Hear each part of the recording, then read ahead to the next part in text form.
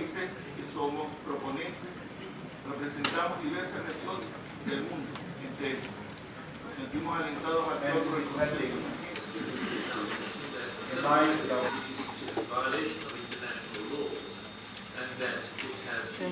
And because the United States does not agree with every word in this text, that the United States did not vote in favor of the resolution.